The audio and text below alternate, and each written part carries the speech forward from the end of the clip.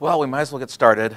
Um, I'm speaking today on Osmosis, which is a project that we developed internally at CEB, uh, and we use it for converting PDF files into PowerPoint.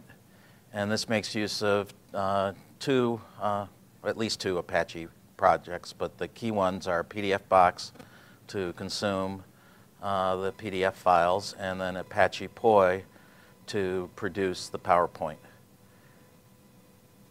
First uh, introduction, I'm David Fisher. I'm Senior Director of Corporate IT, a Senior Director of Corporate IT at CEB. I'm an Apache member and on, I'm on several PMCs, Poi, OpenOffice, the Incubator, Flex, and Olingo.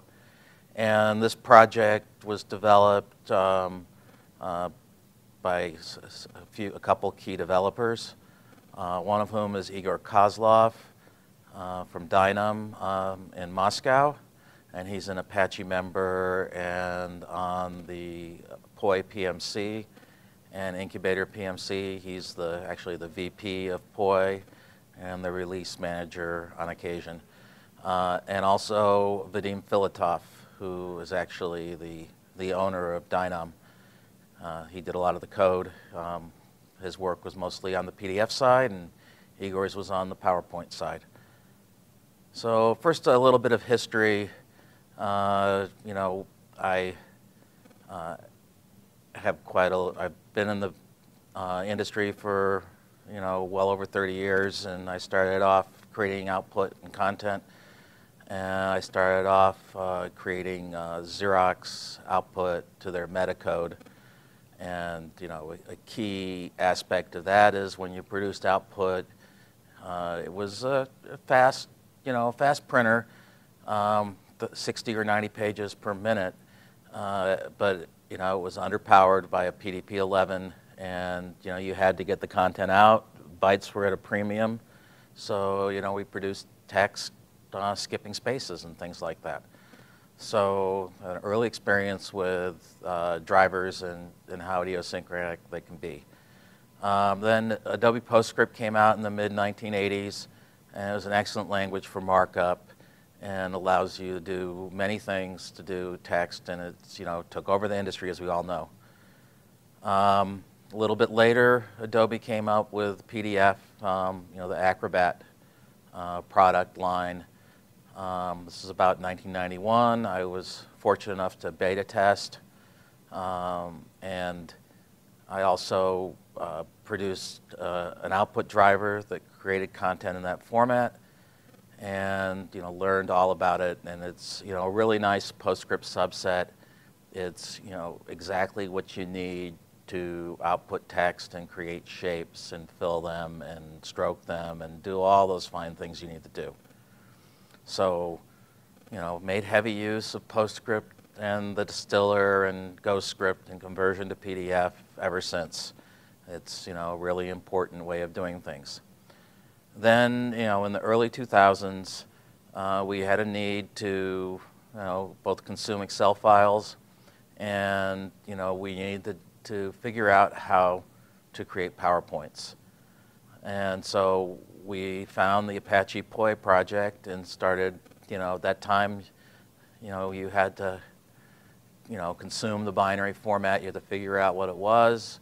You had to, you know, basically hack the format and try things out and make it work. And Igor did a lot of work on that, and we were able to do it, so we contributed it to the project and got brought into uh, the Apache Software Foundation in the way that everyone else does. You, you find a project, you scratch your itch, and you start committing code, and they, people in the project like the code and invite you in.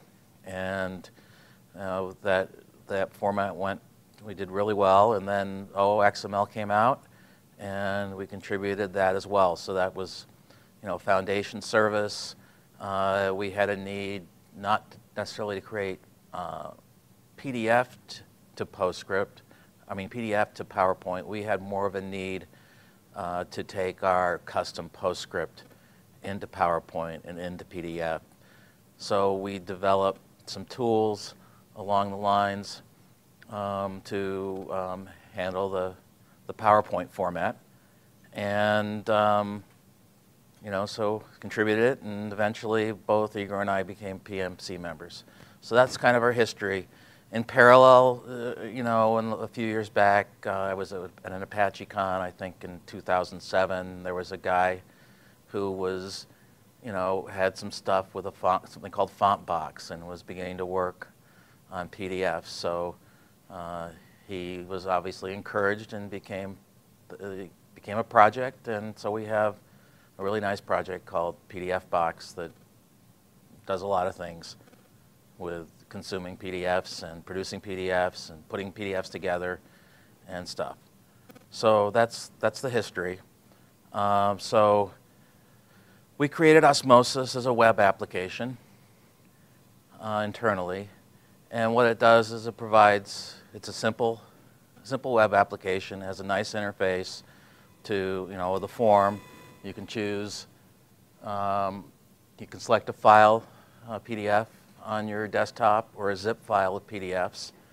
And then you can, you know, adjust. If you just want a few pages, you can choose a custom range.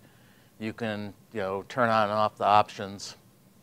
Usually the defaults work very well. Um, there are cases where you might want to do other things.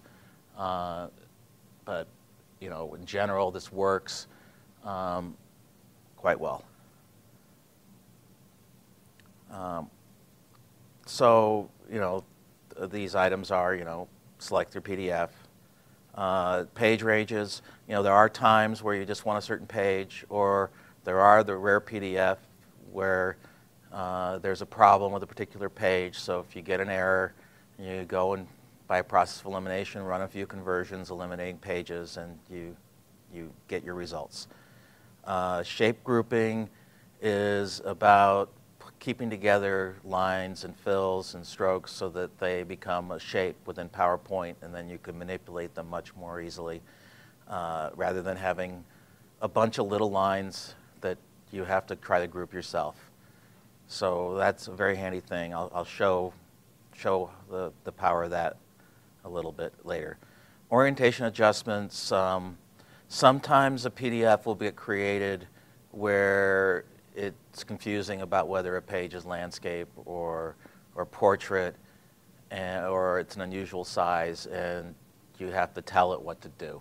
So that's, that's what that's about. So um, usually you just follow the PDF settings, but at times you've got to you know, trust it to sort of look at the content and figure it out. Or you have to say, okay, you didn't get that right, rotate it 90 degrees. Um, then um, text composition. Uh, text composition, uh, what we try to do is we're trying to produce the largest text blocks possible out of the text on the page. That way it can be more freely edited so that you know you don't have to worry about line endings or shifting little blocks to keep them in alignment. The, the goal of this tool is you know to recover a PDF and edit it for small edits or large edits. So um, this is very handy. It most often works, but sometimes you want to dial it back. Uh, similarly, with, with line breaks, also sometimes you really want to enforce and keep your hard line endings. Other times you want to let it flow. Um, that is, uh, you know, gets into the font situation. Um, with fonts, uh, in a PDF, the fonts are um, re-encoded and uh, they tend to produce the minimal size font file embedded in the PDF. They don't want to give away the fonts, but they want the fonts and the characters to render as you intended them in the PDF. That's the philosophy that Adobe has had since the beginning of Acrobat, and it's built into the format. So that encoding and re-encoding and de-encoding is an issue. And you may not have the font, you may not have a license to the font, so there we have some ability to font map. We have ability to, we, there's some defaults embedded in the code. They're, you know, obviously they're currently set for CEB standards, but there's a mapping available. And then this option for desktop fonts it lets you choose whether or not to follow that or go more generic. and I, am going to show a little. I'm going to show a little something. If if you don't like the choices that have been made, you have a chance to override the font mapping and then reconvert. So here's a, an example of a page in a PDF, and you can see that it has um, you know has a bullet on the side. It has you know really thin. Um, a paragraph, you can see that if you needed to edit that and make it look good, uh, you might have some issues and it, it, might be rather tedious moving things around and doing it line by line and moving things around. And then if you were an acrobat doing it, you might actually encounter the problem that you wanted to use a character that was not in the font that was left in the PDF because that character had been removed during the re-encoding that they do. So, you know, you have to deal with that. And uh, also on this page, you can see we've got a, a couple little graphics that you know you might want to manipulate. So it's a, a little sample. So anyway, you, you run that PDF through, and you select that particular page from that PDF. Uh, there's a results page that looks like this, and I, I, I clicked on the fonts tab here. So you can see that if you click on the PowerPoint font here, you can choose your option and, and map it. Uh, you can see that this document had you know, a lot of different weights of the font. And you're not really going to get all those weights into PowerPoint. So, you know, without doing a lot of things with different versions of font, because PowerPoint has your typical, you know, four font styles for a given font. They don't have the, the rich multi-styles that you, you would expect in a, in a true typesetting program. So you know, those are the kinds of um, you know, choices you have to make to get it into PowerPoint. Um, we also have an area for feedback so that you know, they send an email off with a question about why this doesn't get converted properly. And I think in the year and a half that this has been running, I've received maybe 10 emails that way. So it's, it's running very well. Um, so um, here's the PowerPoint version of the file, of the page, and you can see it, it pretty much looks the same. Unless you are a real uh, expert at fonts and, and, and really attuned to you know, light or heavy, you wouldn't really notice a difference.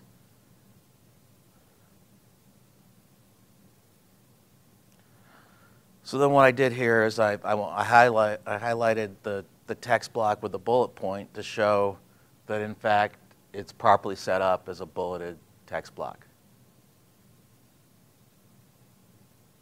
with left justification. And you could go in there and edit it, change it, flow it, do what you need to do. The other thing I did is I went and I selected, um, I just clicked on that image, and it's all grouped because we had shape grouping. And it's actually grouped at multiple levels. So I ungrouped it and got this set of groups. So now you have all these little graphic elements that, you know, maybe they came out of InDesign and someone's created all kinds of fancy, you know, shapes and diagrams and stuff like that, and you, you want to select an element out and reuse it somewhere, and you don't want to go to your central publishing team to, get a little graphic. You just want to make use of it. So I selected the, the light bulb, and then I copied and pasted it. And now I have a light bulb that I can use. You know, it goes on the clipboard, and you can take it anywhere. So that's handy. So there's over a thousand internal users have used the system. You know, CEB has about it's gone from three to four thousand employees, so that's a, a good chunk of the of the company, and it's been a huge time savings. And you know, the PDFs that have been converted have come from all kinds of different versions of drivers and programs and stuff, going back, you know, content produced as early as 1997. And, um, you know, there's, you know, they, CEB is an advisory firm. So the IP of the content, the IP is a big part of the company's value, and being able to reuse it easily is really important. They've, you know, don't even have the originals of some of the stuff. All they have is the PDF. So it's, it's worked really, really, really well. Um, so a little highlights of what we did with, uh, with PDF Box. And I, um, we have a build JSP, and then in that build JSP, uh, we make use of a, three different classes out of PDF box around the document, decryption of the document, uh, do the metadata from the document. And then we have a, a, couple of our own classes that were important. An export class, which is the basis of all our conversions, and then an extension of that called PD job for this particular pro process. So this is a condensed version of our, of our build.jsp. Um, you know, it, it, it, creates the export. It um, gets a real place to store it. Um, you know, goes through the process of opening the document, decrypting it. Um, you know, counts the number of pages, gets some information out of it. Then stores that information and the export, stores the, you know, the choices for the conversion, you know, your basic things you do. And at the bottom, it uh, kicks off the job. Now, one of the cool things we have in this, since we're running on a Tomcat instance, and you know these can be big chunks of conversion, we want to manage our heap. So we manage the heap, and we set up an we have the ability to either run outside the process and then you know run a run a queue, a stream, or we can run uh, up to three jobs internally. And you know we're watching the heat in case things get big, so we can stop it from OOM, and that's been pretty effective. Um, the PDF engine classes that we have is we have we have you know several of our own classes that build a stack. Um, you know, there's a this uh, PD to PS PPT, which you know basically is in charge of the processing. Um, it extends this PD to PS engine, which is uh, basically drives the conversion of the PDF into an internal, uh, specially commented PostScript file that can then become the basis for the PowerPoint conversion of it page by page uh, an object engine that organizes the content, and then uh, low-level calls to PDF box to the COS model. There are a few models in, in PDF. There's a, it's an object model system. Um, it's, it's, a, it's essentially a dialect of PostScript, uh, PostScript dictionary format, and with the reference tables that used to be at the end and now are at the beginning. And you know, so the low level, there's a page level set of objects, there's fonts, uh, but at the lowest level, there's just uh, various operators that are wrapped up in an object. So, for example, in the PD engine, uh, this is a, uh, where we're in a, a graphic state um, and we're uh, processing, you know, the nodes, the state, the cause statements as they go along. They, each, they're little two character or one character operators.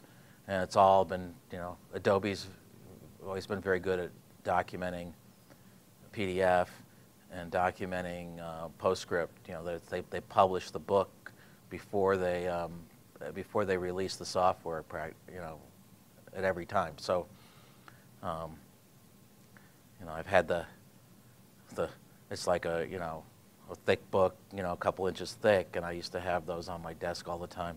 Now they're PDFs online. Um, but what? No, they're not PowerPoint files. I don't know that you'd want them to be PowerPoint files. One of, one, of, one, of the, one of the tricks that we have to do is, you know, a PDF can have a mix of page sizes. And PowerPoint, it's one size in one file. So if, for example, we get a mix of you know, landscape page mixed with portrait, we have to actually produce two PowerPoints and separate it out, one for the landscape and one for the portrait. And then the user has to figure out what they want to do with that. So you can see this thing, you know, handles you know your basic things: line line width, line caps, line joins, you know, all those little tiny things that you have to do. Um, you know, there's some rendering intents and things like that. Um, and um, different things with color. Um, you know, adjusting for the stroke size and the pixelation. I think that's what that is just various things. So we process all that into a, into a, a PostScript file internally. And then we, we go and we convert it to uh, PowerPoint. And we have a series of classes that sit on top of POI uh, that handle the graphics 2D at various levels. We have uh, uh CF Text Graphics, which actually stands for Chart Factory um, and it, it handles text runs, and it puts together the text and handles the bullets and all that stuff. And then Office Graphics 2D handles things more in terms of shape processing and stuff like that. And then there's an Abstract Graphics 2D, which extends graphics, the Java Graphics 2D. And those things uh, call XSLF slideshow, which is your basic support and they also, of course, make calls to, they make a few calls directly to the OXML model and the beans as well. Um, here's an example from Office Graphics 2D of, of creating a shape. So that's basically it. It's um, a freeform shape, and um, set the path, pass it the path, pass it the color to paint it, and um, that's it. So here's another one, um, finding a, a, good font based on the aspect ratios because, um, you know, you can do some transformations of the text and the font inside the PDF that PowerPoint doesn't know how to do.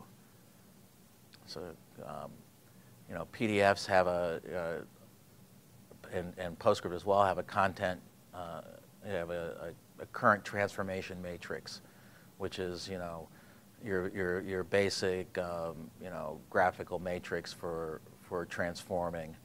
And so, you know, that can give you a skewed or, or slanted or, um, you know, squashed version. So what, what, this, what this piece of code does is it, it figures out the scale and then figures out, you know, a font that PowerPoint has in that, in that particular font choice, what the proper size is to size it so it, it looks good or it looks as best as it can. So that, there's a couple little tidbits of the code. Um,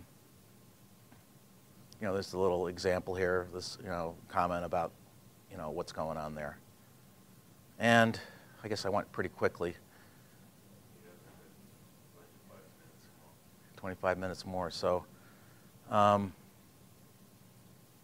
I mean, that's basically it. But the cool thing is, is it, it's a, it, we've also done, um, the reason why we chose to have an internal format that's PostScript commented type thing rather than doing it all within one engine is that we can take that output and produce other kinds of content. So we also have PDF to HTML5. So, and that renders very nicely, but I'm, not showing that here this time. But, um, and, know, any, any, any questions?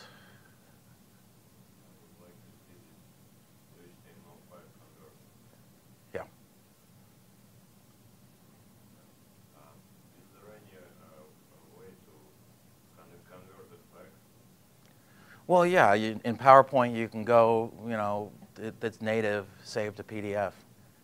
Yeah, so, like yeah. Well, if you don't have Microsoft Office, you probably don't want PowerPoint. Uh, yeah.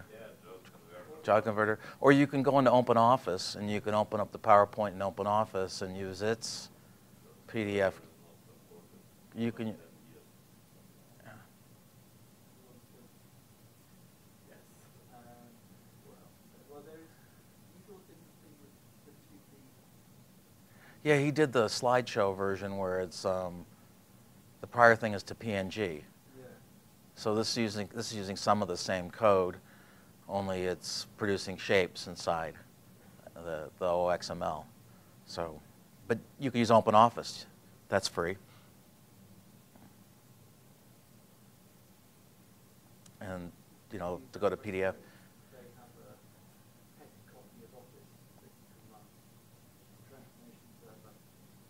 hmm does nasty com automation things. Oh, REST API. yeah. Post it, PowerPoint file, and get back a PDF. Uh huh. Uh, don't ask what happens underneath and how it's scripted. Well, yeah. I mean, actually, in the the later versions of Acrobat X, the, if you're buying the full version of Acrobat, they have a save to PowerPoint option now. Um, you know, it, one of our motivations to go down this path is we were, uh, before we went and found Poi, we, were, we had a JavaCom bridge. And we created our PowerPoints by converting stuff into Macintosh PIC files because we had an old PIC driver from the 80s. And then we like used the COM bridge to place them into PowerPoint. And then, you know, that was driving a GUI in the data center, you know. And then if that machine didn't start up right, someone would have to go walk three blocks, you know, thumb themselves in and do the key, open it up, turn the KVM on, and type in the password. And then, of course, that was single threaded. So we were, we were motivated to find a better way by that as well. Um, and you know, that's there's a, I think there's a lot of possibilities with this this this process. And I you know I have a few next steps. I think it may be a combination of a lab and talking to my corporate legal department. But it would be nice to turn this into either a contribution to a project or a project in and of itself.